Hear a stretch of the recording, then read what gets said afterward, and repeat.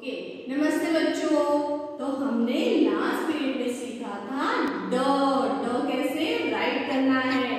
ड से डाकिया, घर घर जाता, घर घर जाकर चिट्ठियाँ पहुंचाता। तो अभी इस पीरियड में हम देखेंगे, हिंदी के पीरियड में हम देखेंगे व्यंजन ढ व्यंजन ढ तो पहले हम देखेंगे कि ढ से कौन से शब्द तैयार होते हैं ठीक है सो फ़र्स्ट है ढ से ढक्कन ढ से ढक्कन उसके बाद है ढ से ढाल ढ से ढाल जो पहले योद्धा थे ना तो वो शत्रु से बचने के लिए जो है ढाल का यूज़ करते थे ओके ढ से ढाल और ढ से ढोल। ढ से ढोल। ढ से ढोल। बजे ढम ढम।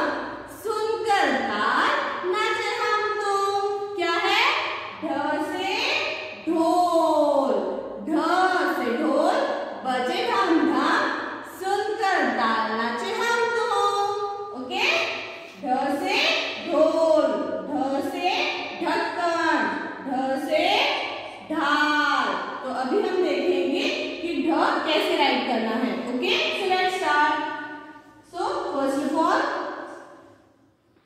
right sleeping line one standing line and then आप टो निकालते हो ना, उसी तरह से टो निकालना है बट उसको राउंड करके यहाँ पे क्लोज करना है okay see again one sleeping line small standing line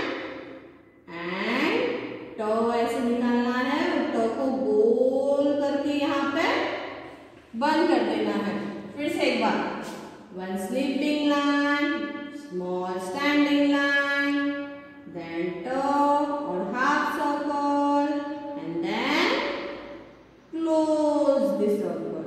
Okay? so is tarah se aapko jo hai ध write karna hai